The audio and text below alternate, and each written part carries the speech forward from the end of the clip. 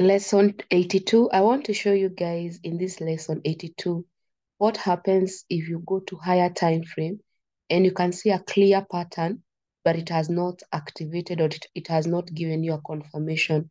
You know, for us, if we have a double top, we use WBB. Also, if you have a double bottom, still you use WBB. So I want to show with CAD JPY how how would you go about it? How would you go about a trade that you know for sure it has a pattern and that pattern has not activated? Which side are you supposed to be on? Are you supposed to be on a um, are you supposed to be biased? Are you supposed to be waiting? For example, if you go, if you open your card, CAD JPY on the monthly, it is a very clear pattern. Can you see this? It has a it has a double top, very clear double top. And I've been waiting for this double top. I've been waiting for this double top to do what? To give me a sell confirmation. And for it to give me a sell confirmation is very easy. And I'll show you how. Because first I understand the strategy that I want to use. You know the difference between a successful trader and a trader who is today they get money, tomorrow they don't get money.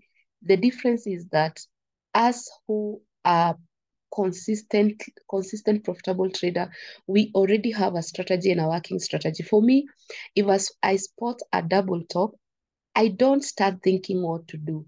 I already know if I have a double top like this, I need to apply WBB strategy. And guys, you already know WBB strategy has three entry candles. The first is you wait for the red candle. So last month, uh, the month of October, you got a red.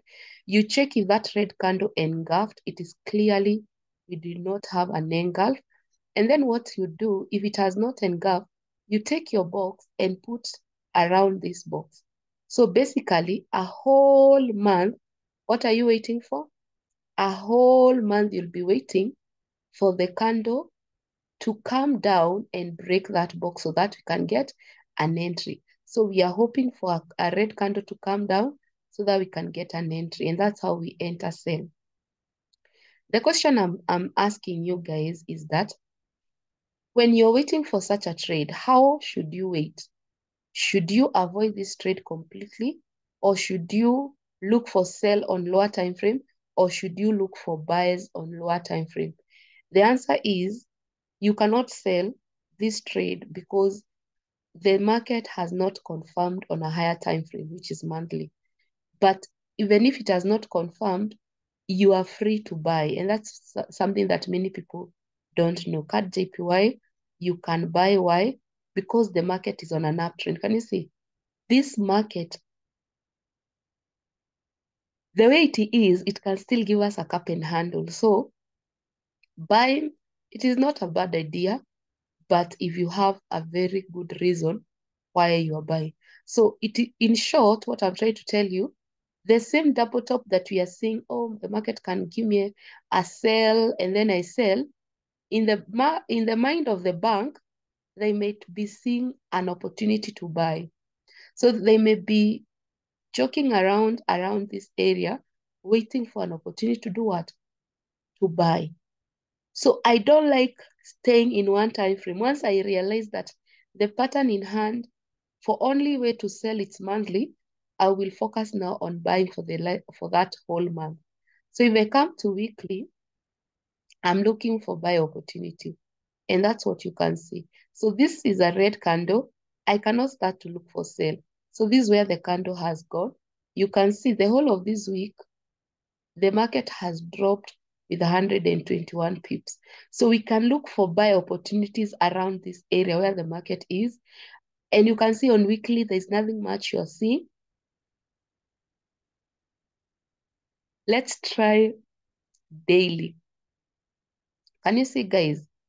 On the daily time frame, this is what we have. So we have a market that has already established a very strong momentum breaking that resistance. And then we have this falling candle. The today's candle is a very huge red candle. Now something is, about to happen here. We have a support zone. This is a support zone. This is daily, guys. I've told you can't come look for sell. In fact, if you sell because of this bearish girl, you might be in trouble. Selling only you can sell if monthly confirms the double top. But we can look for buy. That's what I want you to understand. We only look for buy in such a market.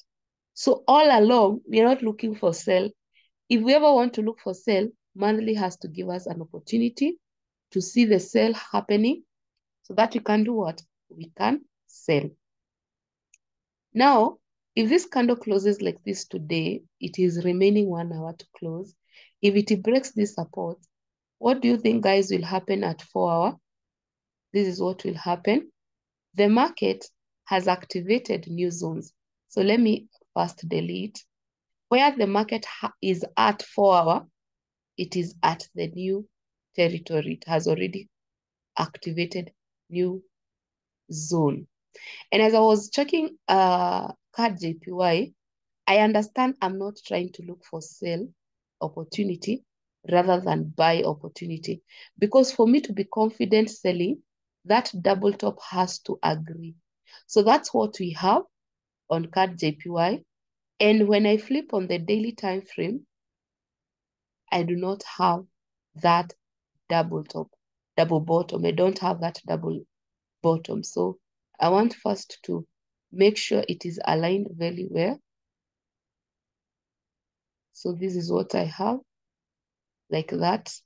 So if I go to the daily time frame, you can see for the daily time frame to activate this double bottom, this week has to come all the way to 109.17.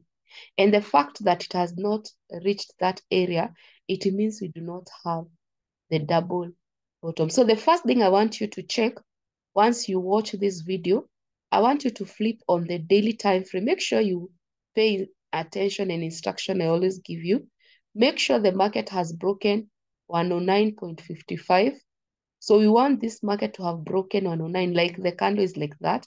So it has broken the support because if it fails to break the support, it can form a double bottom on daily and we don't want that. And then now we focus on four hour. So the reason why I'm telling you we are looking for buy opportunity, it is because on the monthly, the sell has not given out. And you know, we cannot stay like that, waiting for sell to be given out. We can now think of the other side. That's our half. So what are we applying here? We are applying what? We are applying CRB current resistance break. CRB, current resistance break. That's what we are applying around there. So what I want you to understand is how resistance is formed. How do you think resistance is formed? A green candle followed by a red candle followed by a green, and then you put a line like here. We have green, like here. Green, red, red, then green, you put a resistance. So I want you to follow the current resistance. I want you to, to wait, be anticipating, have an anticipating mood. So this is your first trade. I want you to check it. If it happens, all the best. So by the time you're watching this video, I want you to comment how the trade is running. So if you watch this video and the TP and the half of the TP has been hit, just say half of the TP, the half has been hit. If the time you're watching this video, the neckline was hit, just the neckline was hit. If you watch this video and CRB has been broken, say CRB has broken or it completed or it was a failed trade. Like you have to communicate. Make sure you comment. I want to be reading your comments and I see you're engaging in this video. So we are waiting for CRB. Again, I have said, when you check on the on the daily, we want this daily support to be broken. That's the first thing we'll be checking, to be broken.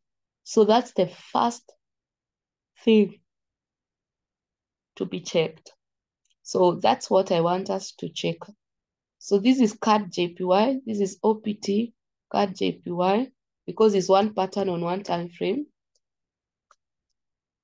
OPT on four. hour. So that's OPT on four hour. So I would want us, make sure you add it to your watch list and let us encourage each other to enter this trip and to make money together. I hope you will add it to your watch list and all the best, guys. Love you.